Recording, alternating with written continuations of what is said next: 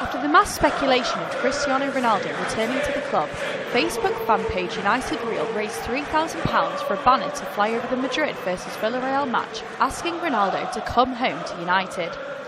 So, why exactly did they choose to do this? Um, yeah, basically started off with one of the members um, uh, putting the idea on the wall, um, and it got a lot of likes, a lot of comments. Ollie then set up an account for anyone who was in favour of the, the banner to, to donate whatever they felt comfortable with, um, and it just snowballed from there, really. But what did the Old Trafford faithful really think of the stunt?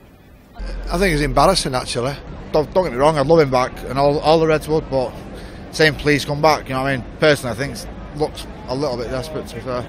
I don't think it's embarrassing. It's nice for him to know that he's always welcome back. I don't think he needed telling. I, I thought he was fantastic when he came here with Real Madrid, and he knows we love him, and he knows we'd love to have him back. However, United Real maintained that they did not mean to cause any grief between the fans or towards the players.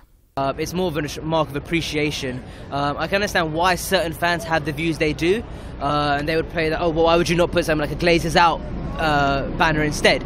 Uh, but I think uh, of the generation of the real, uh, a lot of people in the age of 16 and 24, Ronaldo's their hero, and this is a mark of them away, just showing, you know, we love you, Ronaldo, and it'd be amazing if you come back, even though it's probably unlikely.